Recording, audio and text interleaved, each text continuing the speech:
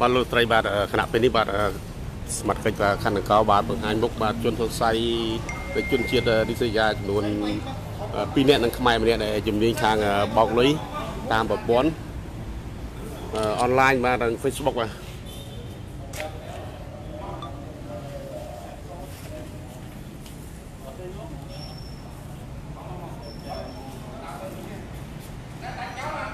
បាទនេះ ជំនាញបំផុតបាទជនជាតិស្បែកខ្មៅនៃសុយានេះបាទគាត់តែងតែបោកលុយបាទជីវរដ្ឋខ្មែរយើងនិងមន្ត្រីរាជការក៏ចេញបោកក៏ដែររាប់ម៉ឺនដុល្លារនោះបាទបាទហើយសមាជិកខណ្ឌនគរបានធ្វើការស្រាវជ្រាវបាទយ៉ាងយកចិត្តដាក់បាទទៅបាទស្រាវជ្រាវចាប់បានជនសង្ស័យបាទខាងលើនេះបាទនេះលុយដាក់នេះស្វ័យភ្លឹងជា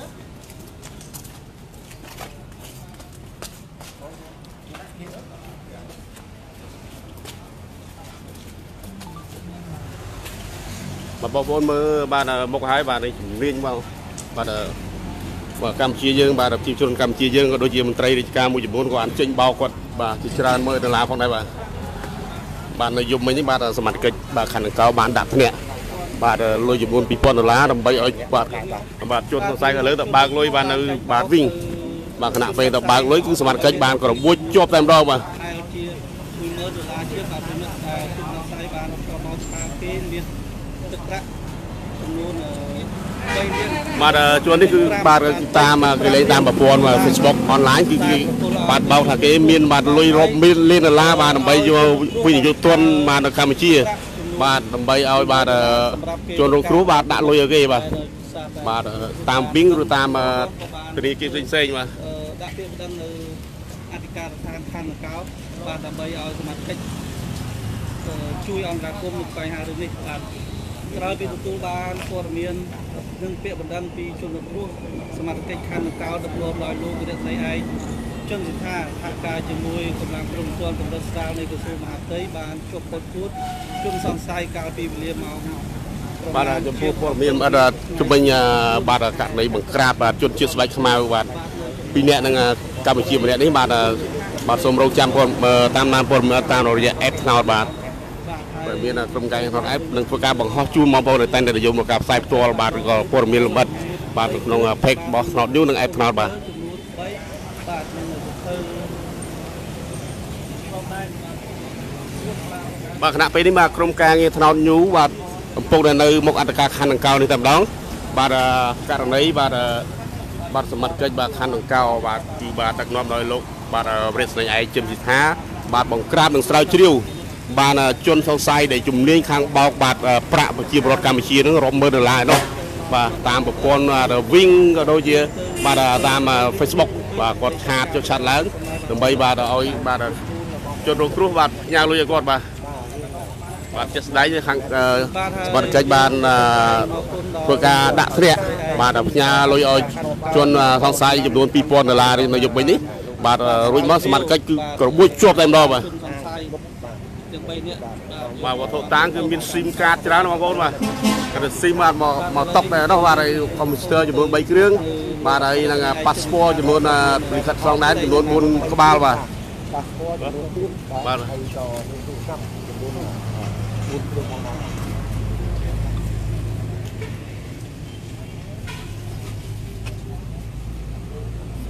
តាមស៊ូបាទស៊ូបាទស៊ូស៊ូស៊ូវាអីស៊ូសាមស៊ូទៅ វាអីស៊ូទៅទៅស៊ូទៅនឹងកលំតាមវាស៊ូមានតាមនេះគឺតាមស៊ូខ្ញុំយើងខាងណាដែរមានបាទបាទអរគុណណាស់នៅសារព័ត៌មានយើងដែលបានមកយកព័ត៌មានដល់អធិការខាងខណ្ឌកោយើងនេះចឹងពីម្សិលមិញនេះយើងបានទទួលពាក្យបណ្ដឹងពីជនរងគ្រោះ ដែលពាក់ព័ន្ធនឹងការវេលុយតាមវិនទៅឲ្យអ្នកដែលមិនបានស្គាល់គឺដំណើរដើមតងគឺទី1ជនរងគ្រោះបានតំណាក់តំណងស្គាល់គ្នាជនជាតិបរទេសនេះគឺតាមរយៈ Facebook ក្រោយមកក៏រាប់អានគ្នាតំណាក់តំណងគ្នាអញ្ចឹងហើយខាងជនសង្ស័យក៏បាននិយាយថាខ្លួនជាទាហានអាមេរិកកាំងដែលធ្វើពេទ្យ នៅប្រចាំនៅទីក្រុងដាណាម៉ាប្រទេសស៊ីរីហើយពេលនេះគេថាគេនឹងបានរើសបានកញ្ចប់មួយក្នុងកញ្ចប់ហ្នឹងគឺមានដុល្លារចំនួន3លាន50ម៉ឺនដុល្លារអញ្ចឹងគោលបំណងគេគេចង់យកលុយទាំងអស់នេះមកអភិវឌ្ឍនៅប្រទេសកម្ពុជាយើងនេះ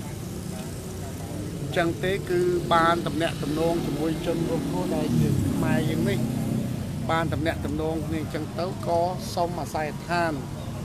សុំអាស័យដ្ឋាននៅស្រុកខ្មែរយើងក៏គាត់បានបកលអាស័យដ្ឋាននេះ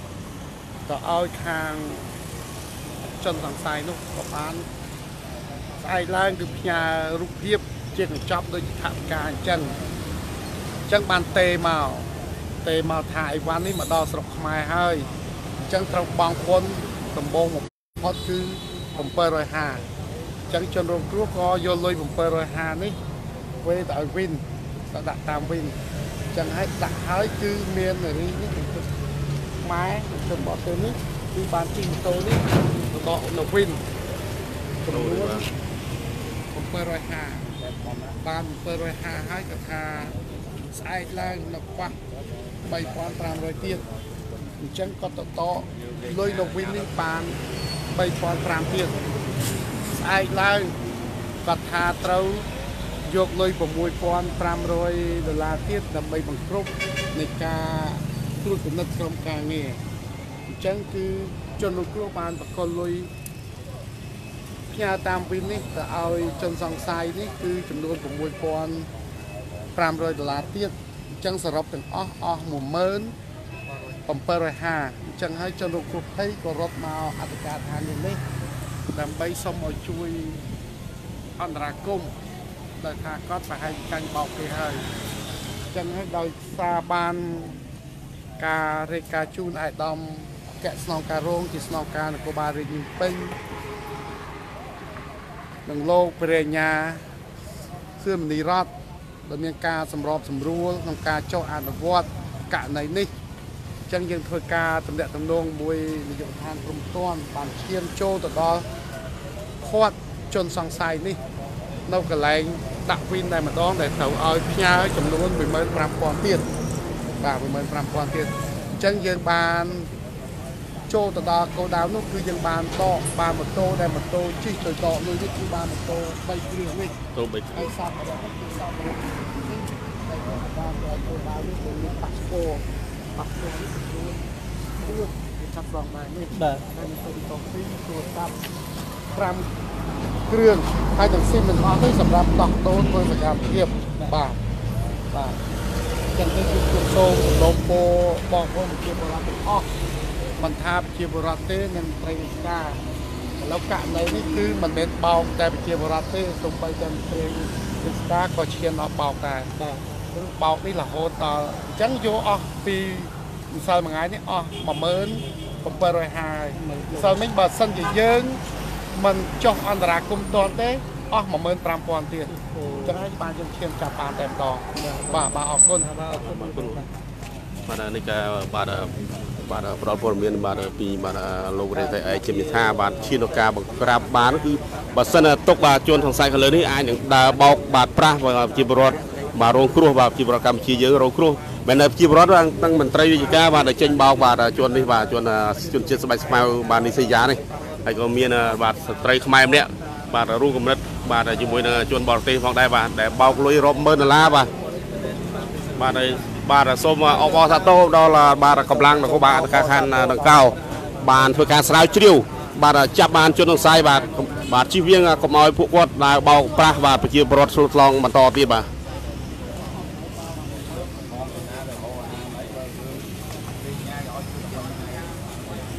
បាទអរគុណសម្រាប់ប្រិយមិត្តដែលតែងតែនិយមរកការផ្សាយផ្ទាល់របស់ត្រោតអេបាទខណៈពេលនេះបាទខ្ញុំបាទក៏សូមបញ្ចប់ការ live ត្រឹមនេះបាទអរគុណនិងរបៀបបាទ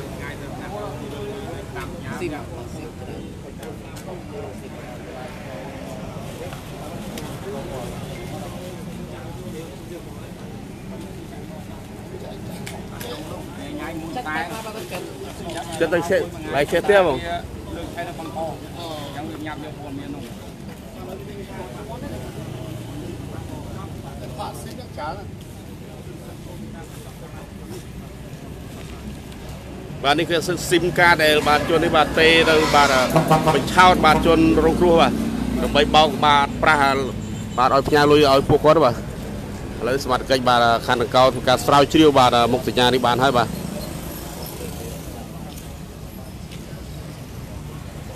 បាទគណៈពេលនេះបាទក្រុមការងារថតអេបាទសូមបញ្ចប់ការ live ត្រឹមនេះសូមអរគុណនិងគោរពលាបាទ